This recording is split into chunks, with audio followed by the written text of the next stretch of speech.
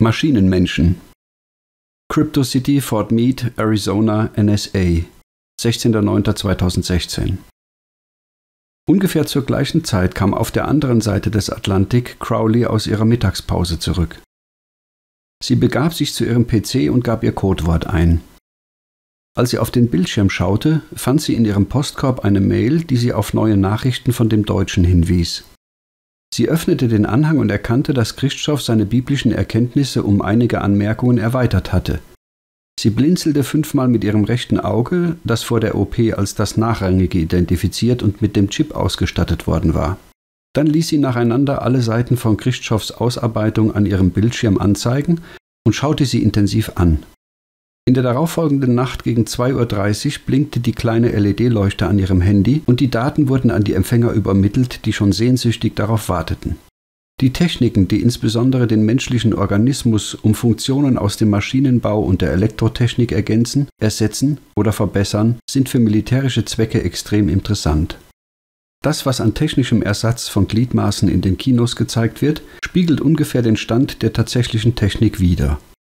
Einer der Vorreiter bei dieser Technik ist die amerikanische Firma Boston Dynamics und es gibt im Internet viele kleine Clips, die die Firma veröffentlicht hat, um hier der Öffentlichkeit zu zeigen, was man vor 10 bis 15 Jahren in dieser Disziplin in der Lage war herzustellen.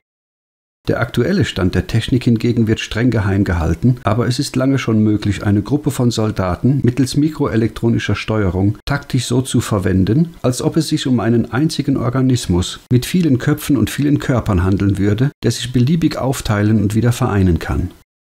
Bereits heute werden Maschinenmenschen, sogenannte Androiden, also Maschinen in Menschengestalt, zu echten Einsätzen mitgenommen und bei leichten bis mittelschweren Aufgaben eingesetzt.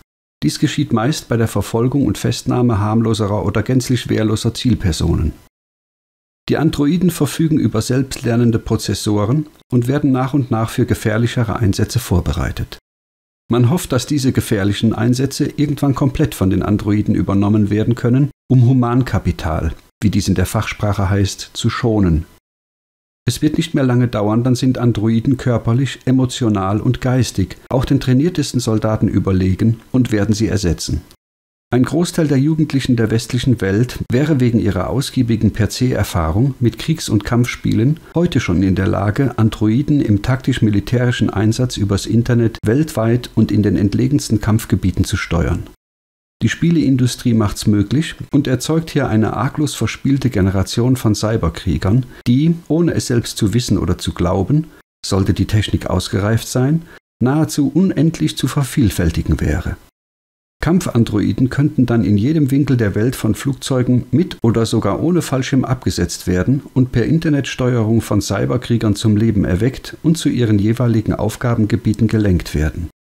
Was für eine verlockende Möglichkeit für die Falken im Pentagon. Wohin diese Entwicklung führt, kann heute noch niemand sagen. Eins aber ist klar, diese Technik wird weiter extrem vorangetrieben und sie zeitigt erste Erfolge. Das Kino ist insoweit nicht Fiktion, sondern Information. Und diejenigen, die sich mit den tatsächlichen Themen unserer Zeit beschäftigen, wissen das genau. Wenn heute computeranimierte Filme mit irrsinnig hoher grafischer Auflösung über die Kinoleinwände flattern, sagt das dem Fachmann, dass die westliche Welt über Computer verfügt, deren Leistungsfähigkeit weit über das hinausgeht, was der Normalbürger sich vorstellen kann. Diese Kinofilme sind also nicht nur große, schöne, bunte Bilder, an denen man sich erfreuen und zerstreuen soll, sondern sie zeugen von den gigantischen Möglichkeiten der westlichen IT. Und das nicht nur ihren eigenen Bürgern, sondern insbesondere den nach Gutdünken definierten Feindstaaten.